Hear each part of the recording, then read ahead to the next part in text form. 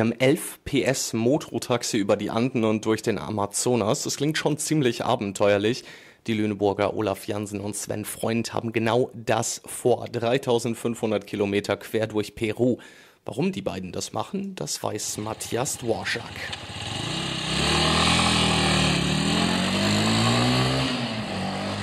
Eigentlich sehen diese für Peru so typischen Motorrad-Texas die Mototaxis ganz gemütlich aus, wenn man sich als Tourist mal ein bisschen durch eine Stadt fahren lässt. Die Lüneburger Olaf Jansen und Sven Freund werden auf so einem Sofa-Bike mit Gummibremsen aber 3500 Kilometer von Süden nach Norden durch das ganze Land zurücklegen, über Stock und Stein. Start und Ziel sind vorgegeben, den Weg sucht sich jedes Team selber.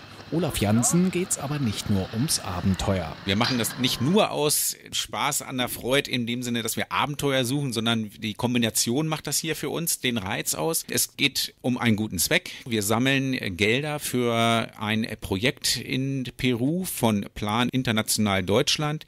Das nennt sich Because I'm a Girl und unterstützt Präventivmaßnahmen gegen äh, Mädchengewalt in Peru. Ein zweites Projekt, was wir noch unterstützen, das nennt sich Cool Earth. Das ist ein vom Veranstalter vorgegebenes Projekt, setzt sich für den Erhalt der Regenwälder ein. Die Veranstalter, The Adventurists, geben den 32 teilnehmenden Teams in Peru erst einmal ein paar Tage Zeit, die anderen Teams kennenzulernen und auch das Mototaxi, auf dem das Zweierteam dann ganze 14 Tage verbringen wird. Mit diesem Gefährt, den Straßenverhältnissen und wie der Verkehr dort so funktioniert, das werden wir erst im Vorfeld kennenlernen, denn die eigentliche Veranstaltung beginnt schon am 9. Oktober. Dort lernen wir die anderen Teammitglieder aus der ganzen Welt dort kennen.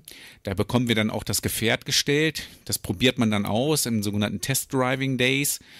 Und hat dann halt noch äh, drei Tage halt im Vorfeld Zeit, sich damit auseinanderzusetzen. Immerhin bis zu 70 km/h fährt so ein dreirädriges Heckscher-Motorrad bergab und mit Rückenwind. Mit seinen 11 PS geht's bergauf dann auch schon mal nur mit einem kmh vom Fleck, wenn es über Passstraßen bis auf 5000 Meter Höhe geht. Ja, das wird schon spaßig, vor allen Dingen, weil wir uns ja dann außerhalb der Städte bewegen mit diesem Gefährt. Dafür ist es nicht gebaut. Wir werden außerhalb der Städte auch äh, sicherlich Passstraßen haben, die dann auf ja, unbefestigt sind. Sobald es bisschen ähm, schlammig ist, modderig ist oder aber auch äh, auf irgendwelchen Passstraßen so wird es sein, dass es Spuren geben wird. Dann dieses dieses Dreirad, also das wird da oben ein richtiger Kampf werden, auch mit den Straßenverhältnissen. So richtig Spanisch sprechen die beiden angehenden Mototaxichauffeure nicht. Berührungsängste, zum Beispiel mit den Bewohnern peruanischer Andendörfer, hat Olaf Janssen aber nicht. Sicherlich wird das für viele Neuland sein und ähm, einige werden das wahrscheinlich da irgendwie als Spinner äh,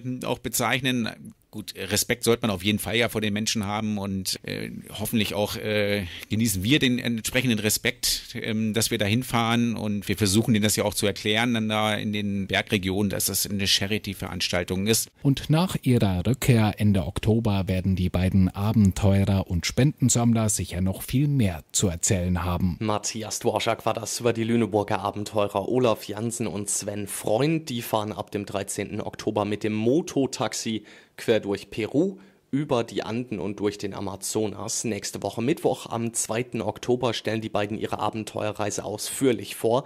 Und zwar hier bei uns bei Radio Zusa um 19 Uhr in der Sendung Rastenschleifer. Das äh, machen die beiden für das Projekt Because I'm a Girl, wenn sie das äh, unterstützen möchten. Noch mehr Infos gibt's dazu auch im Netz auf www.rastenschleifer.net.